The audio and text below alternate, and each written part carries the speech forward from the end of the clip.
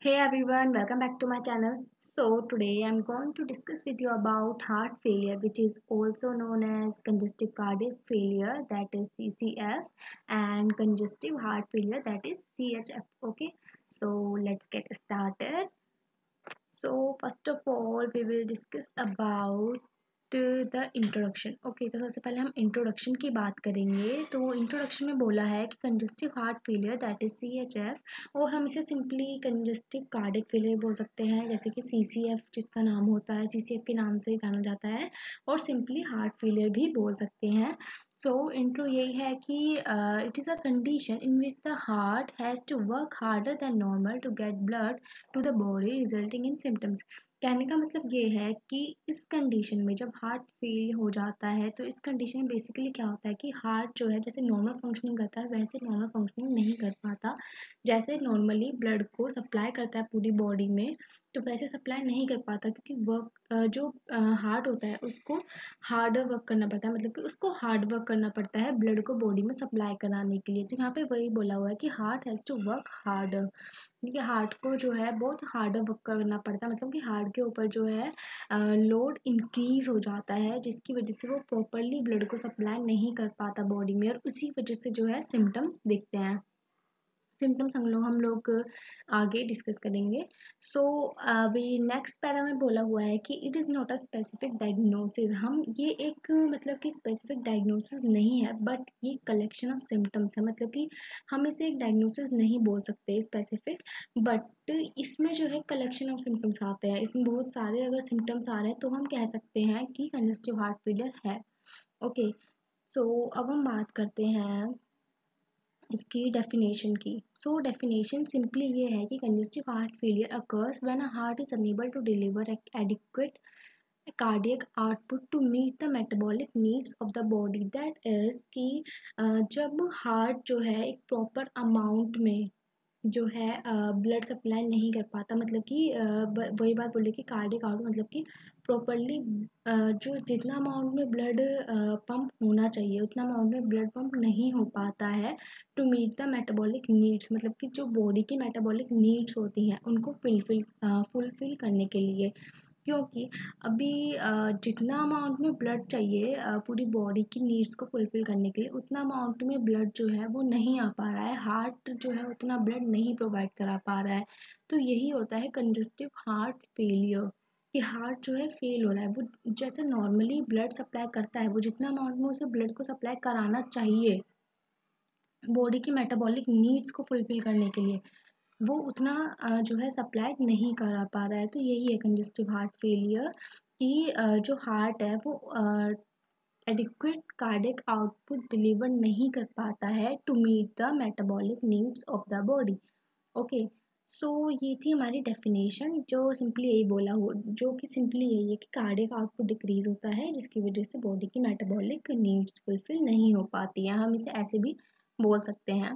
Okay okay. So so, अब हम बात करते हैं इटियोलॉजी मतलब कि इसके कारण क्या क्या हो सकते हैं।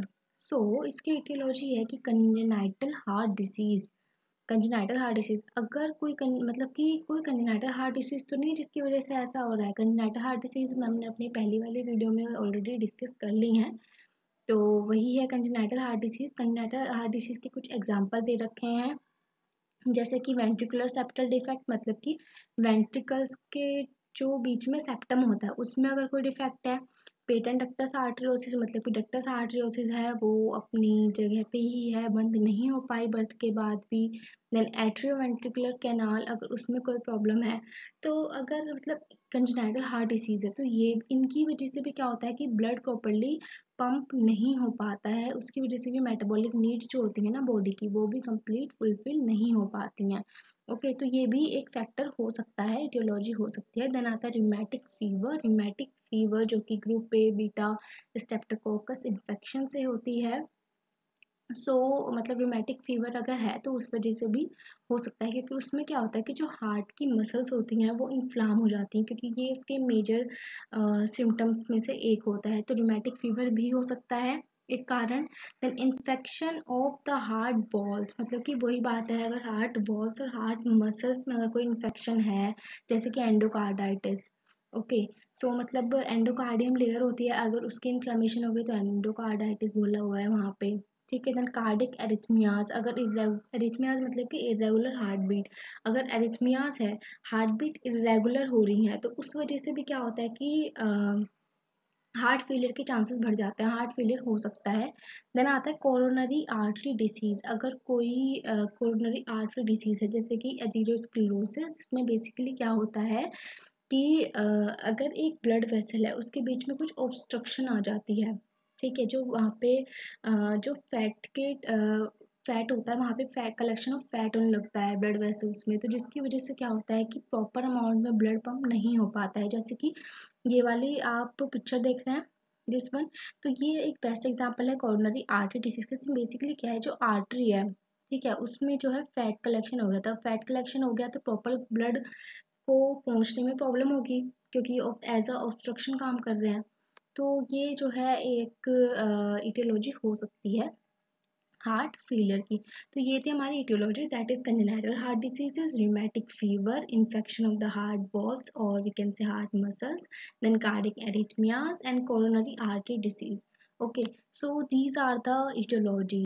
So let's deal with the pathophysiology. So pathophysiology is कि कार्डिक आउटपुट डिक्रीज मतलब कि सबसे पहले क्या होगा, कार्डिक आउटपुट डिक्रीज हो जाएगा, जैसे कि हमने डेफिनेशन पढ़ा था कि कार्डिक आउटपुट डिक्रीज हो जाता है, जिसकी वजह से क्या होता है कि जो मेटाबॉलिक नीड्स होती हैं बॉडी की, वो फुलफिल नहीं हो पाती, क्योंकि कार्डिक आउटपुट डिक्रीज हो जाता है। कार्डिक आउटपुट डिक्रीज होने का मतलब है कि जो ब्लड है हार्ट जो ब्लड पंप करता है, वो प्रॉपरली नहीं कर पा रहा है, क्योंकि हार्ट को बहुत ज़्यादा हार्ड वर्क करना पड़ रहा है हार्ड वर्क करना पड़ रहा है ओके सो कार्डिक आउटपुट सबसे पहले डिक्रीज हो जाएगा देन कार्डिक आउटपुट डिक्रीज होने की वजह से inadequate supply of oxygen and nutrition to the tissues okay क्योंकि कार्डिक आउटपुट डिक्रीज हो रहा है तो ऑब्वियसली ऑक्सीजन और जो न्यूट्रिशन है वो प्रॉपरली टिश्यूज तक नहीं जा पाएगा ओके okay, वो प्रॉपरली टिश्यूज तक नहीं जा पाएगा और उसकी वजह से मेटाबॉलिक नीड्स जो होती हैं बॉडी की वो फुलफिल नहीं हो पाएगी। अब जब ये सब हो जाएगा तो क्या होगा? हार्ट रेट इंक्रीज कर जाएगा।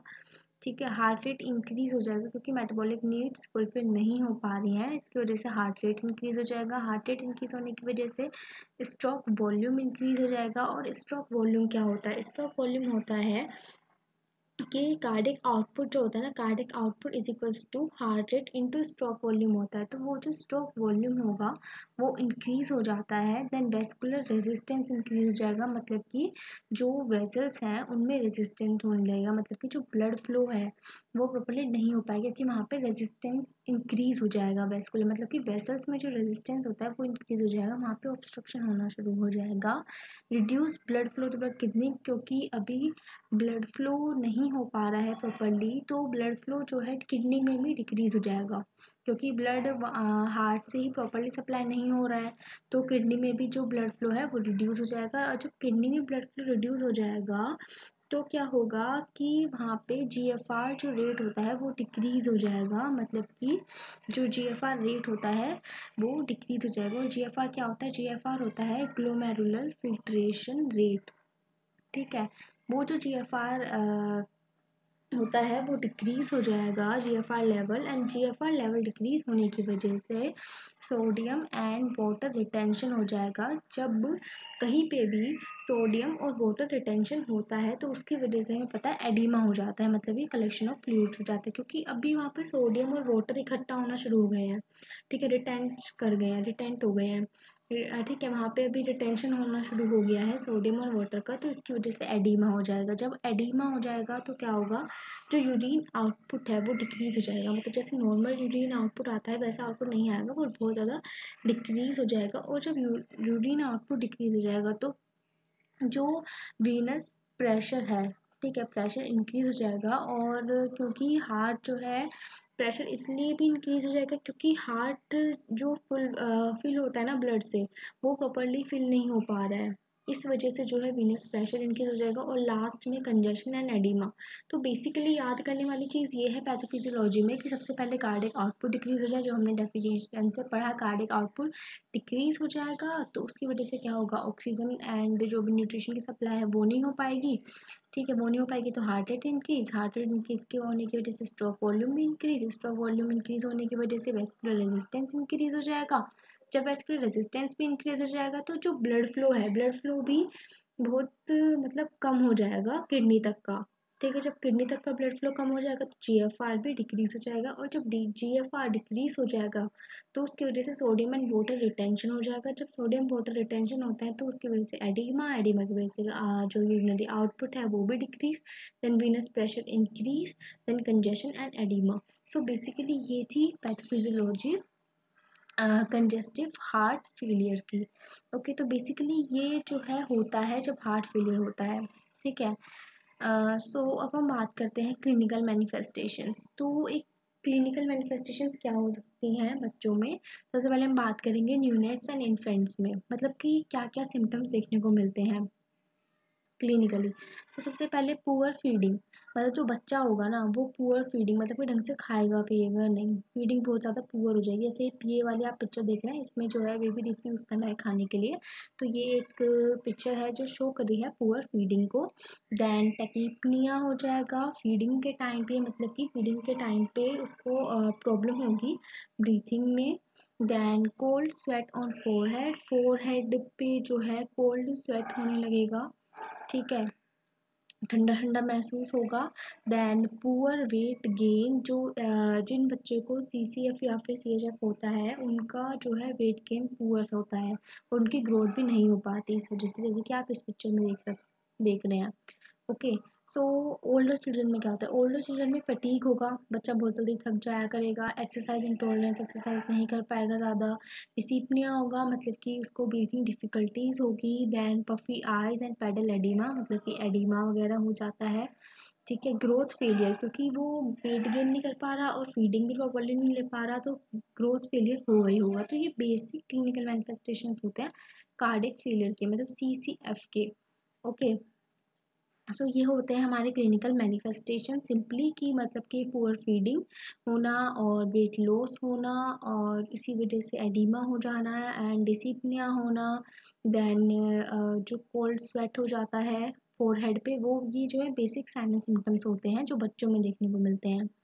ठीक है, अब हम बात करते हैं डायग्नोसिस तो इसके बेसिक डायग्नोसिस क्या होते हैं? बेसिक डायग्नोसिस होते हैं हिस्ट्री कलेक्शन हिस्ट्री कलेक्शन तो सब में ही होता है, क्योंकि हिस्ट्री कलेक्शन मस्ट होता है बच्चों के केसेस में भी और बड़ों के केसेस में भी, क्योंकि पहले कोई प्रॉब्लम तो नहीं थी।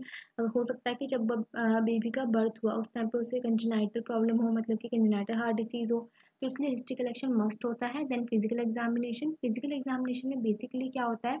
पाल्पिटेशन करते हैं पल्सेस की।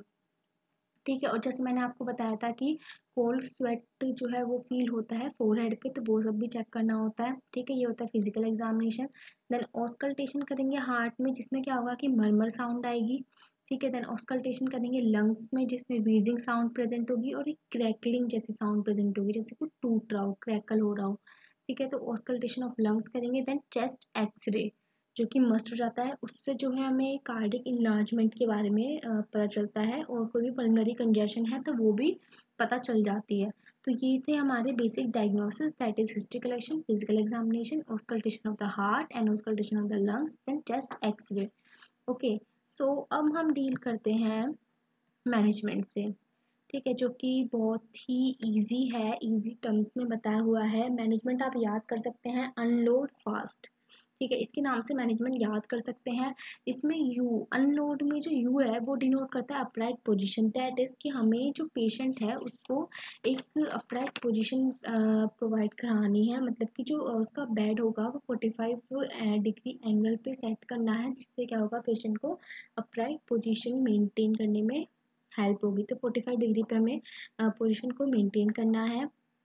देन एन एन डिनोट करता है नाइट्रेट्स नाइट्रेट्स देंगे हम क्योंकि हमें जो यहाँ पे लोड है हार्ट का, वो उसको हमें डिक्रीज करना है। ठीक है? क्योंकि जो नाइट्रेट्स होते हैं, वो वेजो डायलेशन का काम करेंगे और जब वेजो डायलेट जब वेजल्स डायलेट हो जाएँगे तो उसकी वजह से जो ब्लड होता है, वो इजीली जो है पंप आउट हो सकता है। ठीक है? तो इसलिए हम नाइट्रेट्स देंगे। देन लेसिक लेसिक्स जो है, वो एक डायूरेटिक होता है जो कि क्या हेल्प करेगा? एडिमा को रिड्यूस करने में हेल्प करेगा। देन ऑक्सीजन ऑक्सीजन एडमिनिस्ट्रेशन करते हैं क्योंकि टिश्यू ऑक्सीजनेशन के लिए बहुत मस्त हो जाता है ये। देन एस इनहिबिटर एसी ही इनहिबिटर्स देंगे, जिसका बेस्ट एग्जांपल है कैप्टोप्रिल एंड एनाप्रिल ये भी वेजोडाइलेटर की तरह वर्क करते हैं। देन हम बात करते हैं डिगोक्सिन की। डिगोक्सिन जो है मस्ट हो जाता है हार्ट की कंडीशन में देना, जो कि हर हार्ट कंडीशन में बेसिकली यूज़ होता है। ठीक है डिगोक्सिन का वर्क होता है कि कार्डिक कॉन्ट्रेक्टिलिटी जो होती है ना, उसको इम्प्रूव कर देता है डिगोक्सिन ठीक है तो ये सारे थे हमारे अनलोड ठीक है, जैसे यू से अपराइट पोजीशन एन से नाइट्रेट्स एल से लेसिक्स ओ से ऑक्सीजन ए से A C inhibitors then D से डिगोक्सिन ओके सो अब फास्ट का मतलब क्या होता है? फास्ट मतलब कि एफ़ डिनोट करता है फ्लूड्स मतलब कि फ्लूड्स डिक्रीज होने चाहिए मतलब फ्लूड्स हमें कम से कम देने हैं, क्योंकि जो पेशेंट है उसको ऑलरेडी एडिमा हो चुका है, इसलिए हमें फ्लूड्स जो है रिस्ट्रिक्ट ही कर देना मतलब ये कम देना है बहुत। ठीक है देन आफ्टर लोड डिक्रीज करना है, जो कि हम नाइट्रेट्स और ए सी और डिकॉक्सिन दे के डिक्रीज कर ही रहे हैं तो आफ्टर लोड भी हमें डिक्रीज करना है। देन सोडियम का रिस्ट्रिक्शन करना है क्योंकि वहाँ पे सोडियम और वाटर जो है ऑलरेडी डिटेंशन हो रहा है उनका। उन्हीं की वजह से जो है वहाँ पे एडिमा हो रखा है। तो इसीलिए हमें क्या करना है? सोडियम को बिल्कुल रिस्ट्रिक्ट कर देना है। मतलब कि जो सॉल्ट डाइट है उनको लो करना है और जो हाई मतलब कि जो कैलरी डाइट है वो हाई प्रोवाइड करानी मतलब कि high calorie and low salt okay then test test करने हैं सारे। तो ये जो है हमारा अनलोड फास्ट है। ये मैनेजमेंट है हमारा।